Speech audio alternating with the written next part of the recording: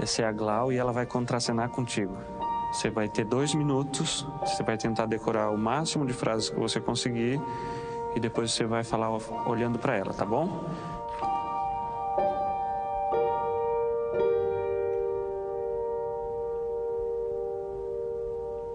Agora você vai falar algumas frases olhando para ela, tá bom? Quando você quiser. Eu não gosto da sua cor. Eu não gosto de gente da sua cor. Seu cabelo é horrível. Teu cabelo parece uma espuma. Eu não consigo.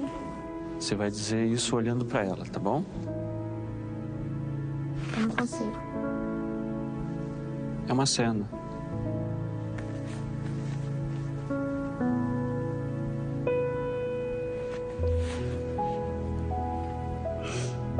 A gente está falando racismo. Quer tentar mais uma vez? Por quê? Porque eu não gosto de falar essas coisas. Quer ler de novo? Por que não? Porque eu não acho certo. Errado? É que eu sou da mesma cor que ela. E eu já sofri bullying na escola. E eu também. Eu não gosto de falar isso para as pessoas. Eu me sinto mal. Como é que tu se sente dizendo isso pra ela? Eu sinto que estou sendo preconceituoso. Quem você acha que escreveu essas frases?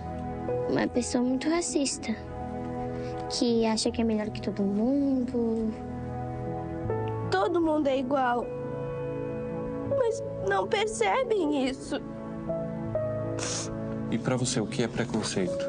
É você não respeitar as pessoas do jeito que a pessoa é.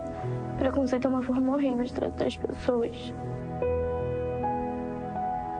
Olha só, esses textos aí a gente tirou da internet, que pessoas reais falaram para outras pessoas, né? Você já viu em algum lugar essas frases, por exemplo? Na escola já. Já. Essa pessoa estava sentada num banco. Chegaram para ela dizendo: Tu é negra, tu é horrível. Tu não deveria estar aqui. Você conhecia essa pessoa? Sim, porque essa pessoa era eu.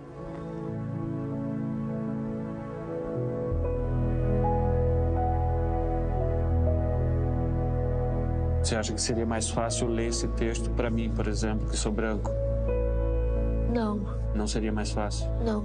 Porque todos nós somos iguais.